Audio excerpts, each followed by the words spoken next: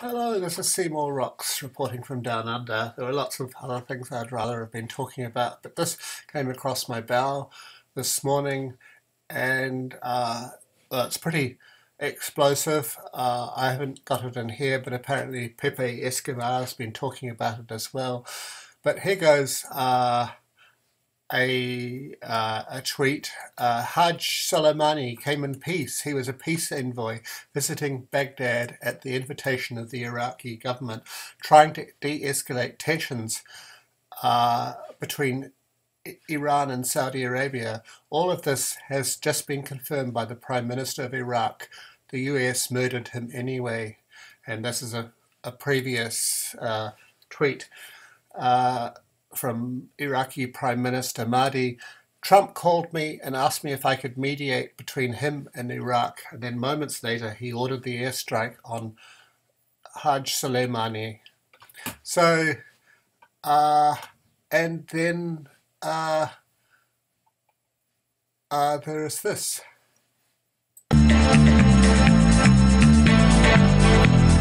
And I'm back. Hal Turner live from New York City. You know, this is very frustrating.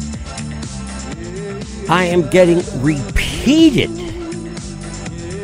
intelligence suggesting that the commander of the Iranian Revolutionary Guard Corps Quds Force, Qasem Soleimani, was also in the convoy hit by U.S. airstrike. He was allegedly in the same car as Abu Mahdi al Muhandis.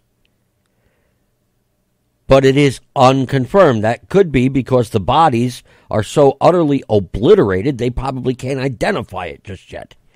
But I, I got to tell you, folks, I'm getting repeated intel suggesting, not confirming, suggesting that the commander of the Iranian Revolutionary Guard Corps Quds, Q U D S force, guy named Qasem Soleimani,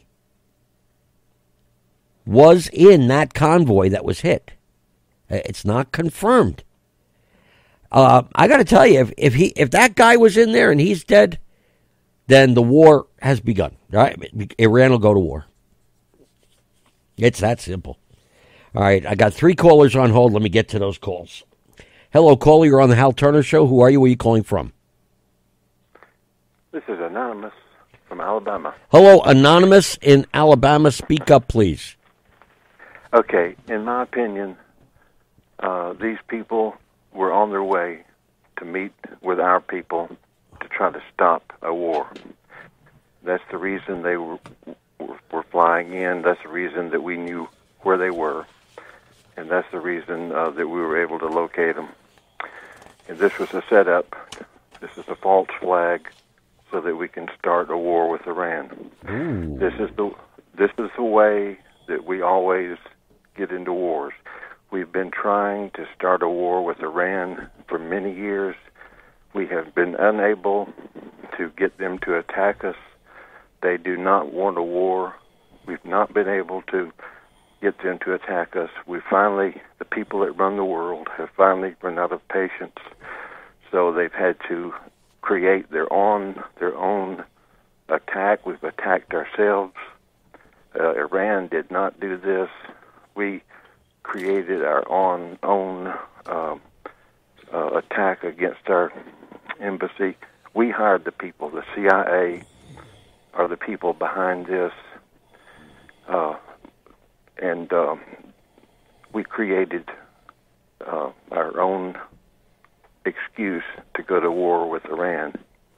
This is my opinion, uh, but this is this is how we create uh, wars, and um, I think they're going to, you know, be successful.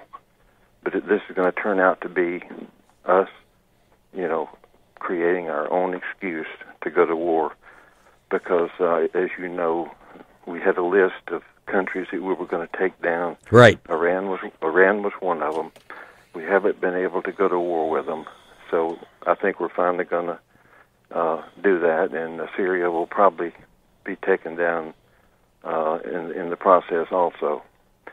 But I think uh, we arranged for these men to come, and they they thought they were probably going to, you know, stop the war, but we ended up killing them. Anyway, that's that's my take on the whole situation. Anonymous in Alabama, that is like uh, primo conspiracy theory. Wow, that is like super neato Kino Swift. Thanks, Well, thanks for just- calling, that's man. That's how we want.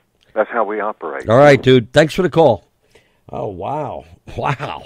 Hey, caller, you're on the Hal Turner Show. Who are you? Where are you calling from?